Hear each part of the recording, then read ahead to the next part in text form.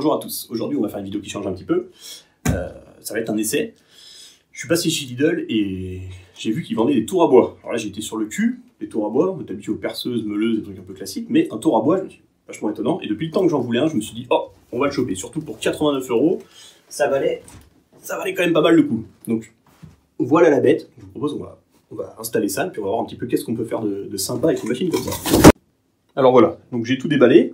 Euh, donc qu'est-ce qu'il y a dans la boîte? Il y a un moteur normal, on a la contrepointe, donc c'est la partie qui va euh, permettre de prendre les grandes pièces pour éviter que ça bouge. Euh, ils nous mettent avec deux outils, donc euh, voilà, deux outils.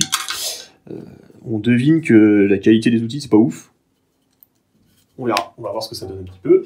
Et il nous donne un autre outil là qui permet de, en remplaçant cette pointe là, on visse la pièce en bois là- là-dessus, et ça permet d'usiner sur le devant. Alors déjà, avant de commencer, qu'est-ce qu'on voit Euh, On voit que déjà, il y a pas mal de jeux dans les, pièces qui devraient normalement ne pas trop en avoir. Ce qui compte, ce qui est important sur une contrepointe, c'est que elle soit.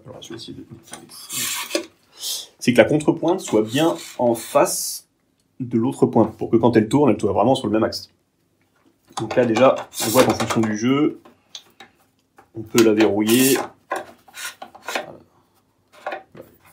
Fonction de comment on en fait, on n'est pas forcément bien, en- bien au centre. En même temps, pour 89 euros, on peut pas avoir des, glissières de compétition. Donc on va voir ce que ça donne si, ça permet quand même de faire quelque chose de propre. Le support du couteau a l'air quand même assez rigide. Bon. Bon. Je propose qu'on commence par faire un test. Alors j'ai trouvé un petit bout de bois dans mon jardin.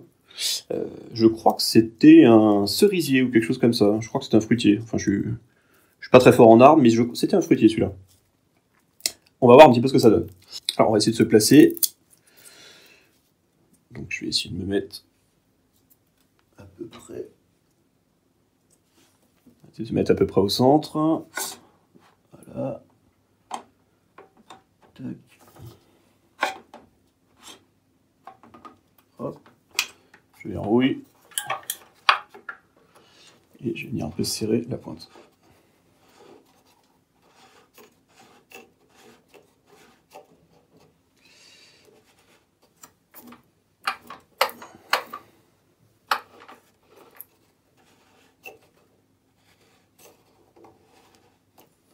Alors là, j'ai l'impression.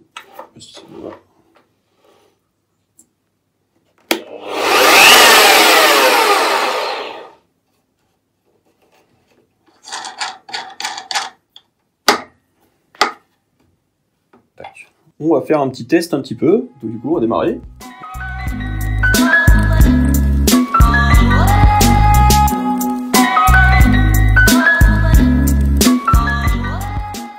Alors là, je, vais essayer quelque chose, c'est que je trouve moi, personnellement, que le couteau ne coupe pas des masses.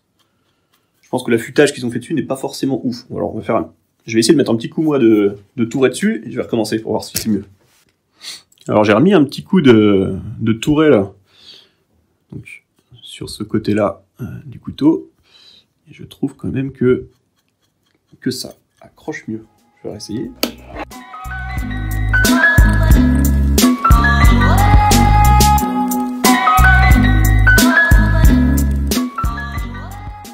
Alors ça n'a quand même rien à voir. hein. De base, ils sont très mal affûtés. Et je pense que je pense que l'outil n'est vraiment pas de bonne qualité et qu'il va se désaffûter très vite aussi.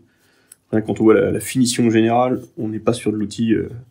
En même temps, genre, je suis pas spécialiste de ces outils-là, mais je pense que mine de rien, pour avoir quelques outils de qualité, je pense qu'il faut mettre au moins presque le prix de la machine.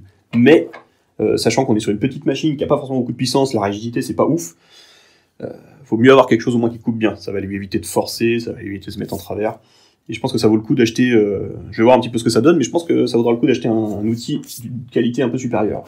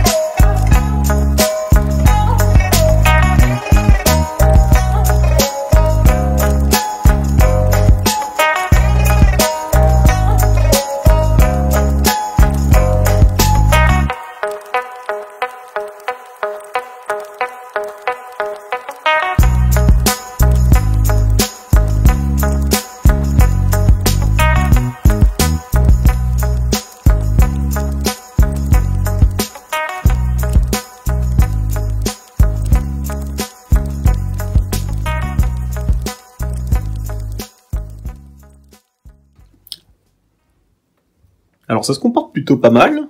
Alors par contre l'aspect de surface est pas vraiment nickel, mais alors je sais pas si c'est par rapport au bois, fait que ça coupe pas très bien. On va essayer de mettre un petit coup de, de papier.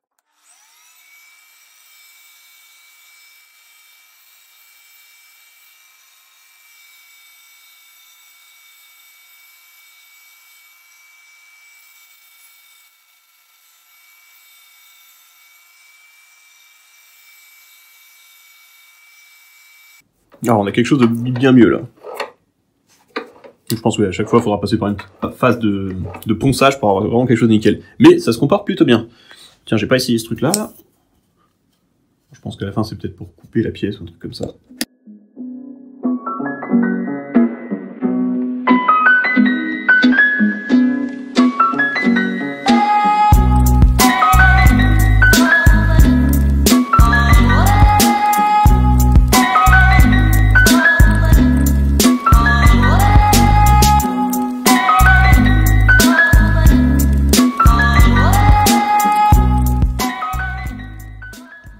Bon, bah, c'est pas évident pour un petit, euh, un petit premier jet comme ça, sachant que j'avais jamais touché un tour à bois de ma vie. Donc bon, j'essaye un petit peu de, de prendre en main les outils. Allez, on va quand même finir comme les pros, juste pour le fun.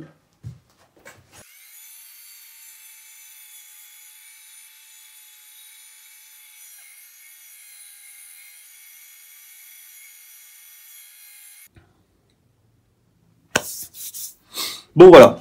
Alors, qu'en dire comme ça d'une première impression? Euh, Bon, c'est du pas cher, donc forcément, en fait, il y, a de la souplesse un petit peu partout. Donc faut pas, euh, faut pas trop lui en demander, je pense. Voilà, faut juste y aller tranquillement, euh, prendre son temps, petite passe par petite passe, tranquillou, ça va y aller. Voilà, tout a un petit peu du jeu. Hein. Quand on serre, quand on veut serrer ici pour venir mettre en appui les pointes, en fait, par exemple, ce bloc-là se déforme légèrement, donc voilà, on peut pas pincer vraiment très très fort. Donc on est voilà, on est sur quelque chose qui a de la souplesse, donc forcément ça va se mettre un petit peu à trembler, il y a des petites vibrations. Donc voilà, on est sur un truc à 89 euros, mais c'est quand même sacrément cool, il y a moyen de s'amuser un petit peu. Alors, euh, si vous êtes un professionnel du bois, je pense que ça fait pas du tout le boulot, hein, mais euh, pour quelqu'un qui veut bricoler comme ça, euh, donc voilà, faire des petites pièces, des petites poignées, des petites choses, je sais pas encore exactement ce que je vais faire avec, mais on va finir par trouver. Et bah c'est quand même assez sympa. Voilà, à part voilà, donc les outils qui sont pourris, donc je pense que c'est de la, je pense que c'est tout simplement pas du bon acier en tout cas de l'acier assez dur pour, euh, pour rester affûté longtemps. Ou c'est peut-être mon bois, hein. peut-être que l'essence de mon bois euh, favorise l'usure du couteau. Euh, mais bon, je pense que je vais quand même acheter un petit jeu de couteau, ça fera pas de mal. Et voilà, donc tout le système qui a, qui a un petit peu de souplesse, mais, ça fait quand même le taf. C'est cool, on va essayer de faire des trucs avec ça. Allez, salut